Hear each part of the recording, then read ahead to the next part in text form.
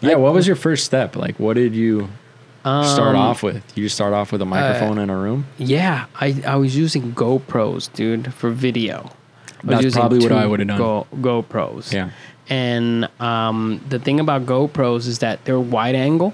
Hmm. So like if you put them anywhere off screen from a master shot, You're they're in everything. the fucking they're in the shot. You know Yeah, what I mean? yeah, like yeah, they're super wide. You know what I mean? And when See you everything. like crop them to that for them to be narrow, the quality just goes away. It's just fucking shit quality. You know? Yeah, it's when you yeah. So, you know, I learned that. And then um, I just put up a table. And I mean, how it really happened was we started doing audio only, just literally podcast, just Just audio. audio podcast. Yeah, like Grant and I, I convinced Grant to like do a podcast with me. We called it Ordinary World.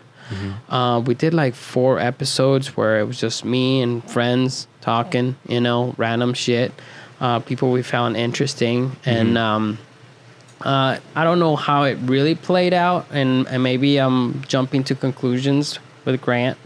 I'm sure you'll have something else to say about this, but Grant wanted to pivot and start making revenue right away.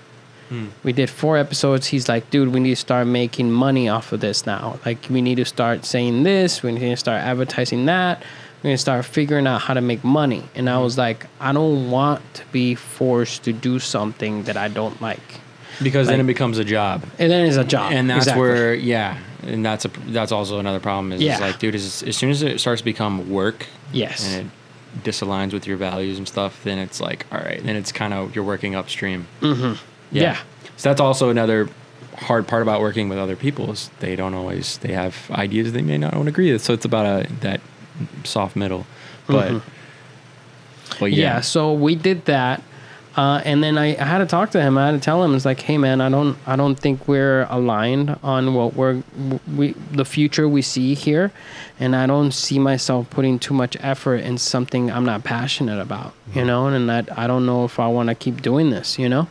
He's like all right well whatever. I still got my rapping and my singing and my fucking all these other projects he's doing you know?